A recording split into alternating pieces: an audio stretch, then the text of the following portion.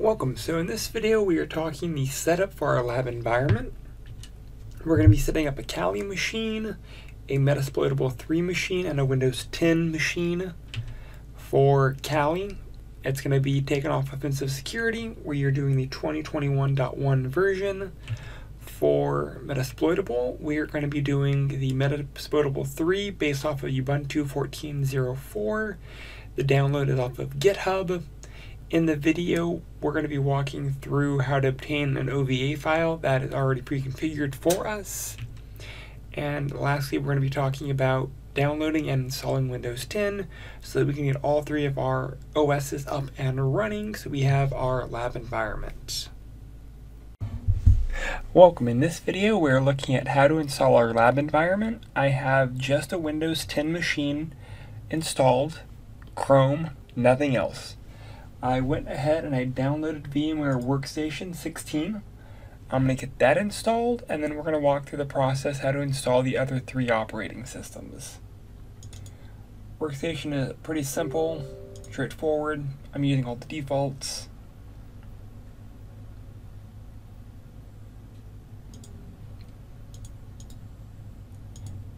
Going to a terminal services, of course. Not joining the customer experience. I'm going to do the installation, do a restart, and then I will move on to the next OS. Installation is complete. I'm to go ahead and finish, and it's going to go ahead and restart. Alright, now that my VMware workstation is installed, I'm to open it, make sure it runs. I'm going to go and do a trial. And it does open up. Perfect. First VM I'm going to be downloading is Kali. And I'm going to get that from Offensive Security, Kali. I'm going to go ahead and download the 64-bit 2021.1 I'm pausing the video for downloads and basic installs that lessen time, but this is going to take about 5 minutes to download.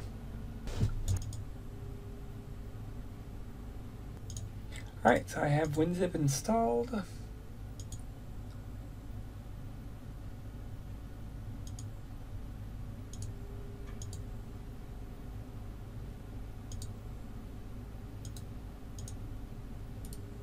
So I can now close all the pop-ups from WinZip. I can now go ahead and extract my Kali VM. Use evaluation mode.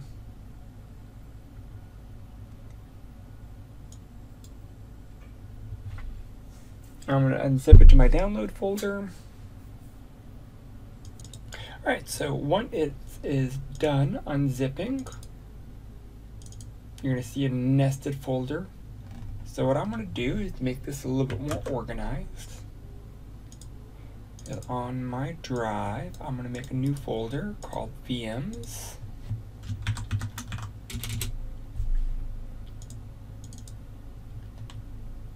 And that's where I'm going to put it. I'm going to go ahead and rename it to Kali 2021.1.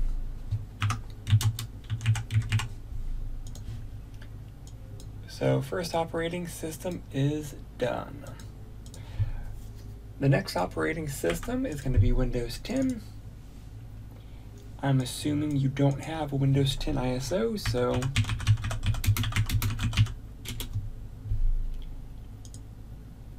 I'm going to be downloading it directly from Microsoft. Again, I just Googled Windows 10 download. I'm going to be downloading the media creation tool. And this is going to give me the ability to download the Windows 10 ISO.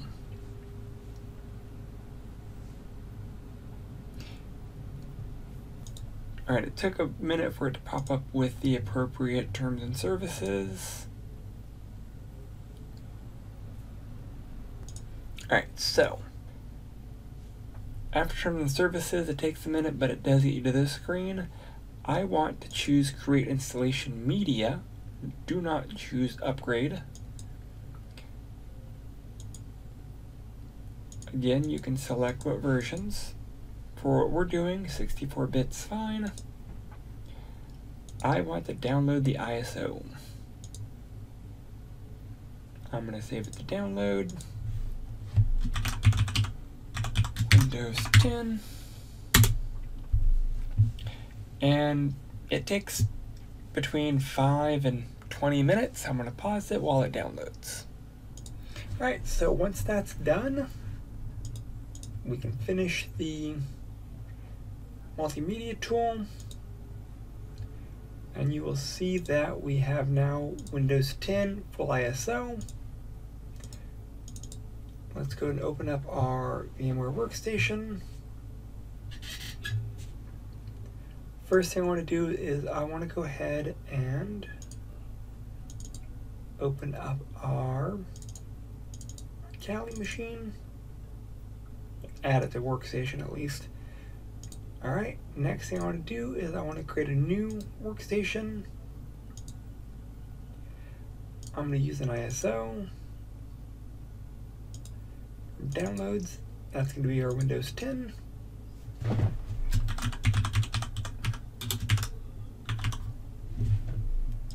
Again, I want to save it to C drive.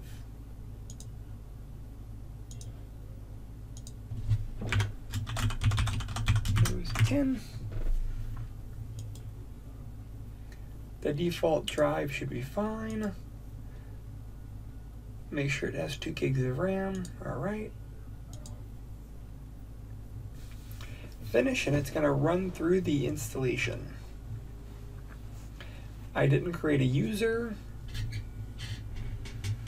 I left everything default.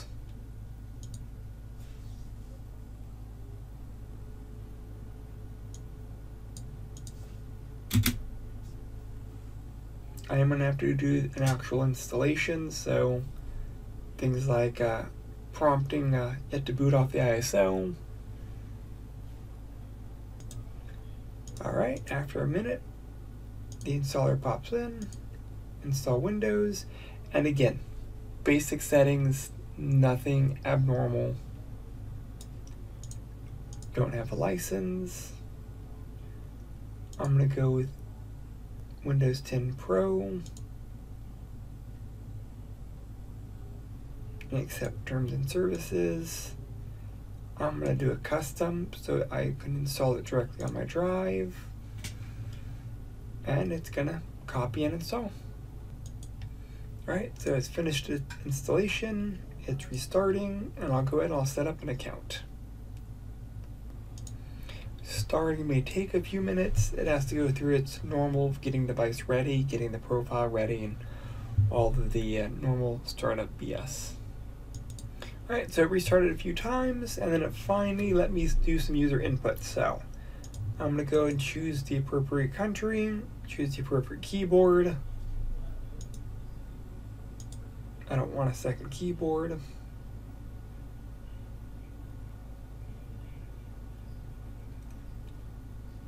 It should be asking me for user details here in a second.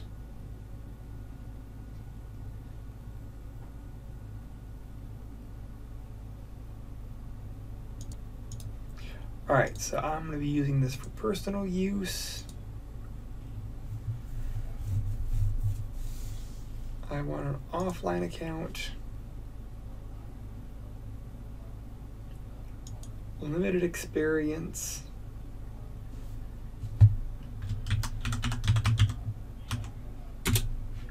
I don't want a password for now. And that's it. It's going to do its basic uh, account creation and it should restart and create my profile. Cortana. Hmm. Again, while it's setting up the profile, it can take a few minutes. Just be patient. Alright, so for now, I have my Windows 10 machine. I'm going to go ahead and power it off. The next is setting up Metasploitable 3.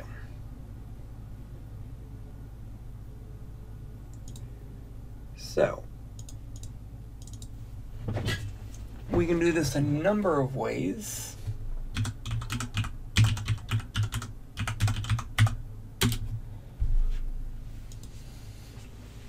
First of all, you can do the Metasploitable 3 uh, GitHub. This is going to be the installer.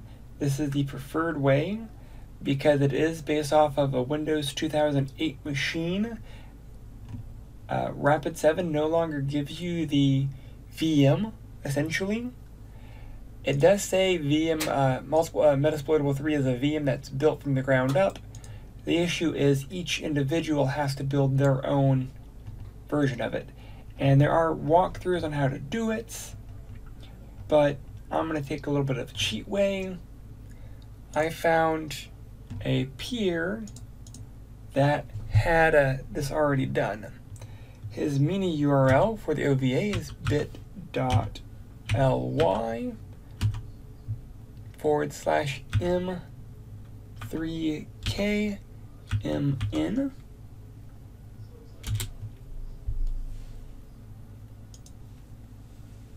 it is a 2 gig file it is hosted on a private uh, Google uh, doc sharing site but this is the pre-configured Metasploitable 3 VM working in VMware. I'm going to pause it while it downloads. Alright, it went ahead and downloaded. Again, opening up VMware Workstation. It's an OVA file, so I'm going to open Metasploitable 3.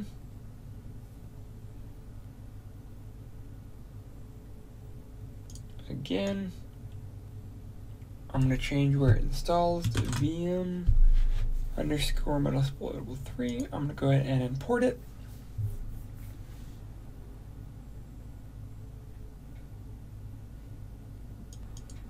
If you get an integrity check, it's fine. Retry it. I had uh, had this happen on a few different uh, downloads. Not a big deal. Retry. It will pass the integrity check. Importing can take a little while if you decide to manually build it, it does take between an hour and two hours to actually build the VM. There are walkthroughs on how to create the the VM for you. I just, for time's sake, thought that this was a little easier. Once the import is done, I'm going to go ahead and power it on.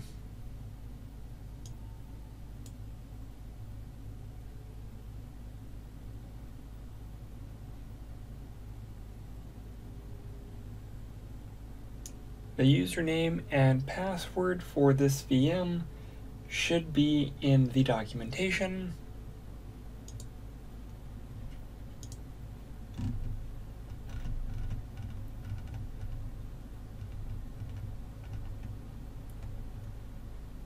It is done through Vera, uh, Vagrant and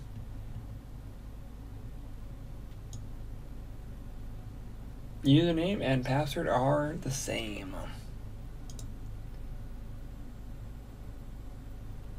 So first of all, you're going to notice it's running the Ubuntu version. Let's go ahead and log in for the first time. E-A-G R-A-N-T B-A-G-R-A-N-T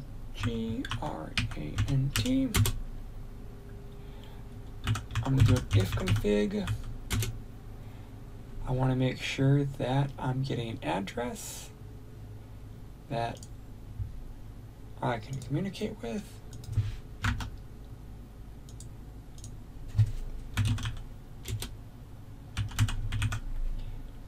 Oh.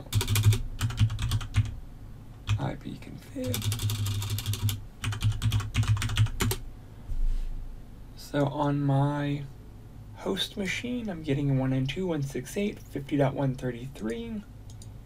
So I'm going to go ahead and ping my Metasploitable 3 192.168.50.134.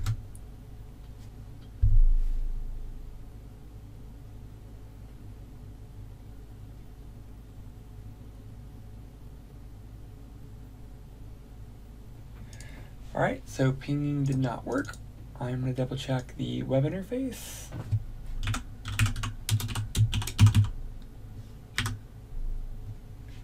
One nine two dot one six eight dot fifty dot one thirty four.